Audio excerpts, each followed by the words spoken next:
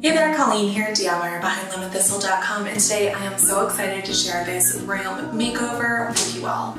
This is my sister's primary bedroom in her first home.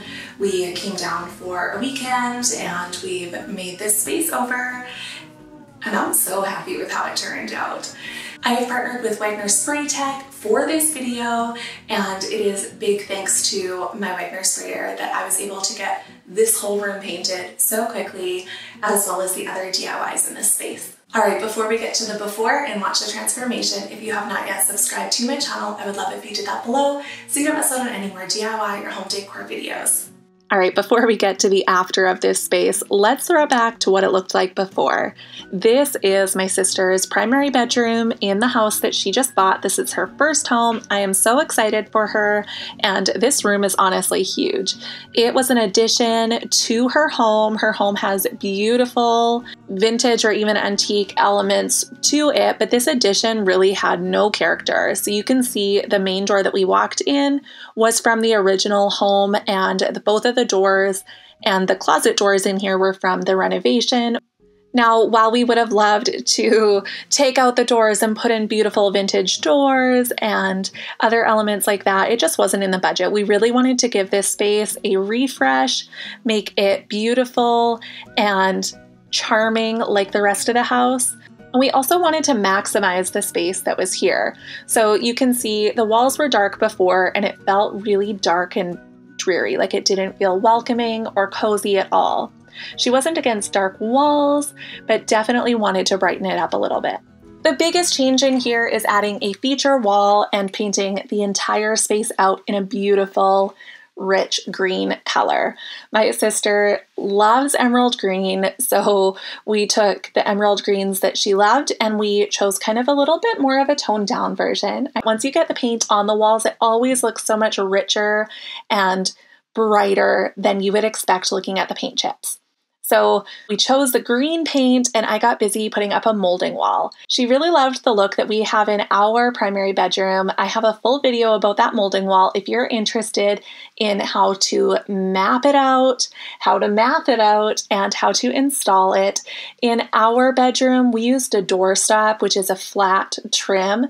It's more cost effective and more modern in this house since we wanted to bring some of that vintage charm into this room here. We chose a fancier oak molding. It was the perfect size and style. If there was an MDF, we would have chose that. There just wasn't in this particular pattern. And you can see that I am just installing this here, always using a level and using my brad nailer. I also did a molding treatment on the doors. I will do a separate video about that. But once your molding is up and in place, you can use wood filler to fill any gaps at the seams or nail holes and then use caulking to run between the molding and the wall to give it a really clean, beautiful finish. Again, I do talk more about this in my molding wall video that I will link below. I primed just the wood to seal it so that the wall paint wouldn't soak in at a different rate to the walls. And then we got painting. So I used my Wagner paint sprayer for this project. We actually did this bedroom makeover and her deck makeover in the same weekend. I shared her deck makeover about a month ago. I will link that one down below, but it was a ton of work in just three days. So the paint sprayer allowed us to paint really, really quickly. The most time consuming step in paint spraying is, of course, preparation. So, masking off the floors, the baseboards, the ceiling, the doors, and the windows. But after that is done, then painting is so quick. Before getting started, just like I always recommend, I did test the spray pattern on the guide that Wagner sends with their paint sprayers, and you can see that that just lets me get my spray pattern absolutely perfect so that I am ready to spray the wall without worrying about drips or a speckly spray pattern. Taking the time to really tweak it here before you get onto your project will make spraying your walls so quick and efficient. So we sprayed this whole room, two coats, we sprayed the deck, floor, and the deck railing all in the same day. And then we let it dry, and the second day we installed all of the things in the room. So a couple things with this paint sprayer. This is the Wagner Flexio 2500. It is their newer paint sprayer and it is a really affordable option for a paint sprayer. It's lightweight, it's handheld, you just plug it in and you go. This was my first time using this particular sprayer and I was so impressed with it. I also didn't have to thin the paint, it was really effective, and we used a high quality paint here. You can take your masking off as soon as you're done painting, just be careful not to drag the masking along any of the walls as you're taking it down, of course. I actually prefer to take painter's tape off while the paint is still wet. I find that it helps avoid any peeling of the paint. We did also paint the doors and the trim with a beautiful color called Ashen Tan, and I will do a whole separate video about the doors. Those were a fun little project that helped bring this space back a little bit of the character that it was lacking from the addition remodel.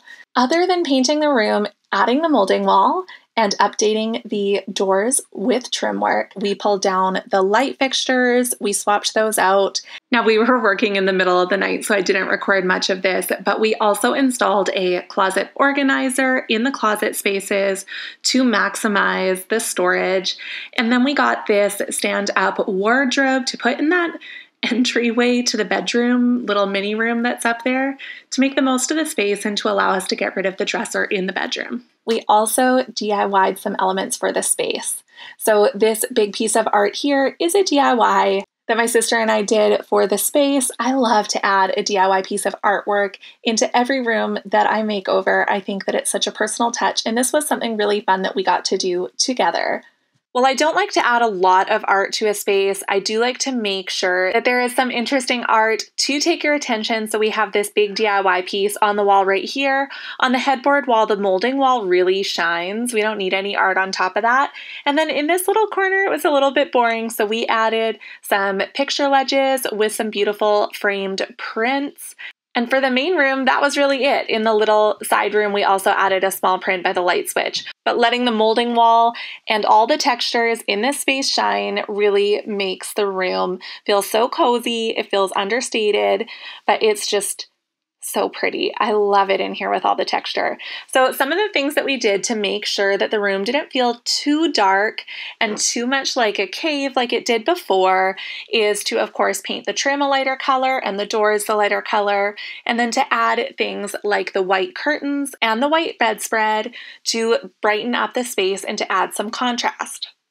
We also swapped out the fan. The old fan had a kind of amber glass shade that made it really dark, no, even if the light was on bright. So we put a modern fan in with a bright LED light and swapped out the light in the little entryway room as well. I wish I would have gotten a video of it, but the night table lights that she has here, we ordered these kind of crystal cut bulbs, and when she turns them on, all the walls just glow with this fun pattern. It's such a cool and cozy effect.